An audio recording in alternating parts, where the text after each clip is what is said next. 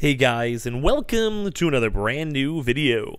In this video, we actually have a kind of an intriguing topic going on over here as we're also comfy up in the bed, where we're actually now seeing once again more rumors that Sony is actually not fully against we're actually raising up the price of the PlayStation 5. And now, what else does it also mean? Because it also probably interpret that we'll actually maybe be watching and seeing for some Xbox potential price raises too as well. And it does kind of make a lot of sense as we'll talk about throughout this video mainly regards of us still having a lot of supply chain issues, semiconductor issues, just pretty much everything out there.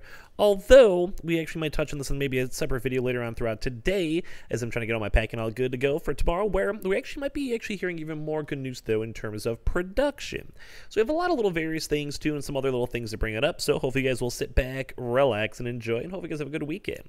As well, if any of you guys are brand new, make sure you guys are subscribed with the notifications on, as well for the brand new PlayStation 5 giveaway. We have our Howl links down below, we keep on mentioning on up, if you guys go check and see and save a bunch of money on those Samsung deals.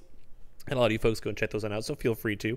We also do have the Twitter and Twitch stream down below. We have the Webull and Target links that you keep on recommending.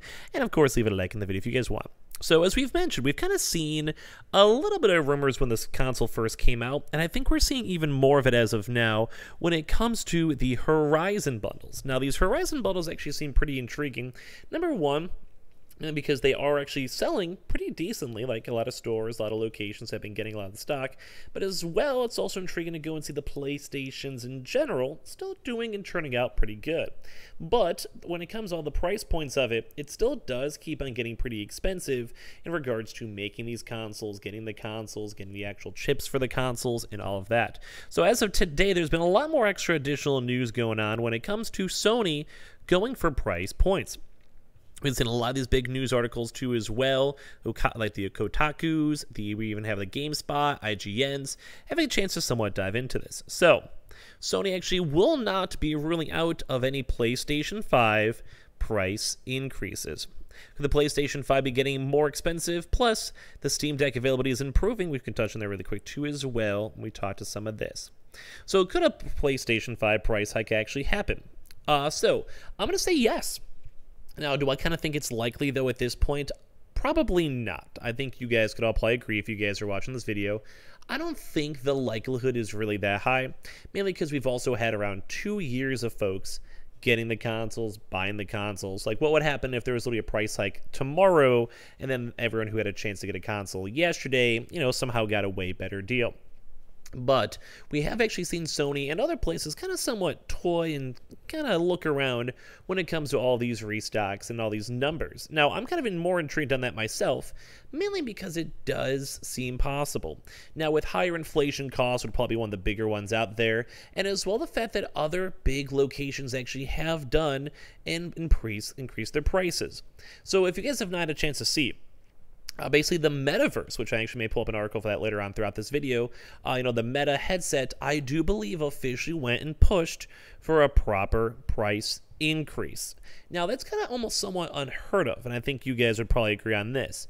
Not many times do we see places, especially after a product's been out for a while, typically have a price increase. Although, we can't always go and include things, say, like Tesla, where, you know, Elon himself actually went and raised the prices on multiple different times for pretty much a car in the same exact system and format, uh, which is very, very, very, very, very intriguing to go and see at the end of the day.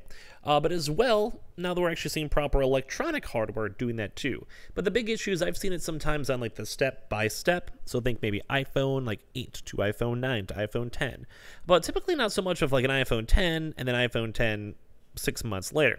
So the PlayStation 5 is still flying off of store shelves, but due to supply chain issues and other factors, the system has not been able to match the sales success of the PS4 thus far which is very intriguing also to go and see. Uh, but I think there's also just different time, different place, and all of that. Sony's latest earnings briefing shows that the PS5's lifetime has actually reached 21.7 million now, which we can also do a deep dive into that if you guys ever want to in the next few days. Uh, as you guys may or not know, I actually should be going back to Chicago pretty soon, so I have some pretty good time for videos for that one. Uh, and basically, like I said, they're at 21.7 million since launch of November 2020. The PlayStation 4, by comparison, reached 25.4 million units in its first seven quarters on the market. Now, I'm going to first and foremost go and say that that's kind of insane. Those are some really big, really high numbers. And at the end of the day, that's like a quarter of like 100 million. That's pretty pretty good in terms of consoles. Although still pushing 21.7 in the middle of a pandemic, semiconductor issues, everything else. Like, you still got to admit, that's pretty good. During a call with investors, Sony actually was, and this is the big topic of why everyone keeps on bringing this on out.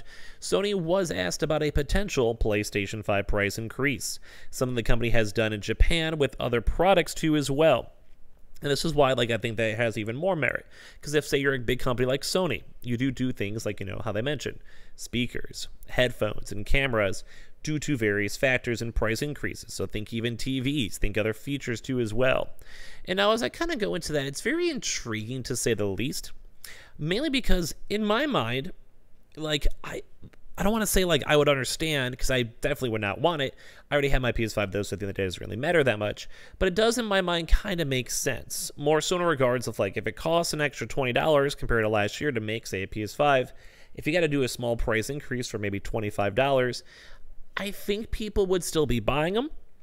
I think people probably want to have the biggest issues with it. And at the end of the day, or the kind of just keep on doing what they're doing right now with the bundles. And I do think the bundle was, I think I made a video on this like when I was in Vegas.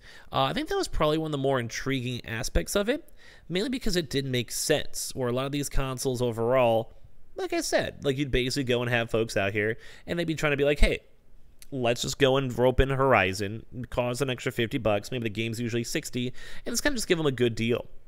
Give them a good price point. Make sure you know, like, it's still like a win-win for everyone. It's like a GameStop or a bundle where it's like you do the PS5 and do the controller, and although it may cost an extra ten dollars to do the console, thankfully you're making that ten dollars back on the controller. So you know it kind of makes a lot of sense. I do kind of get the rough idea and format with it, you know, at least in my mind. So kind of just depends on all this stuff. I think if they did do it, I would understand. Do I want them to do it? No. Do I think they're going to do it?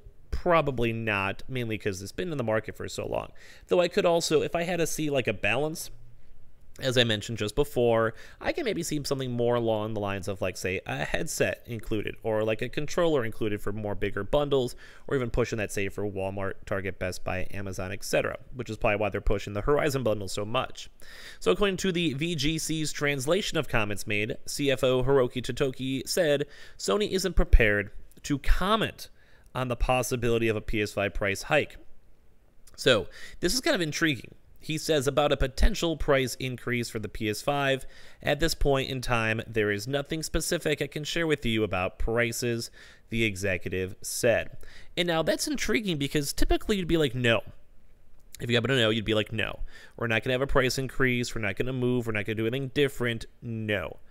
Uh, but the fact that he did not go and specifically say that is somewhat, somewhat like in my mind a little bit concerning. Because like you want to know if there's gonna be an issue, you want to know if there's gonna be a price increase, you want to know like what's going on here, and the fact that we still don't know about it, and the fact that they didn't go give a flat out no, does kind of raise a little bit of a concern as well, especially as we mentioned before, the fact that they've actually done that with other products too as well. So it's not like just a Sony like PS5 oh clickbait. It's more of like, hey, there's actually been like you know inflation, sales aren't doing good, maybe like overall expectations aren't doing as good, and as well if they've done this with other products and it hasn't had too much of an effect or too much of a negative effect. I mean, at the end of the day, why would they not want to? So while a price increase would be an unprecedented move for a console, we did also just go and see that with the Meta Quest 2, which is once again surprising to see a $100 price hike. And I mean, it does kind of make sense too, because even now, two years later, scalping prices are still around $600. So, like, it does kind of make a lot of sense too, as well. Like, just in my mind, it makes sense. And on top of that, too, as we're in the weird setup, the article does also go and run down with the Steam Deck pretty much getting good availability. We may go touch on that in a separate video too, as well. But it does kind of go to show that a lot of these consoles, man, are kind of having some rough struggles, uh, just in terms of still making them, the profitability of them, and everything else.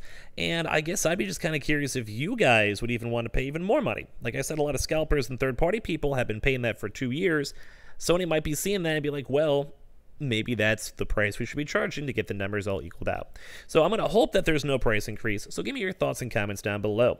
As well, if you guys are brand new, make sure you guys are subscribed with the notifications on as well for the brand new PlayStation 5 giveaway. We do have our Howl links down below for all the stamps and credits we keep on mentioning a bunch, so click on that and check that on out. We have the Twitter and Twitch room down below. We have the Target links too as well. And as I mentioned too, we might have a little bit of a weird hiccup the next one or two days as I get back in the groove before we start making more videos.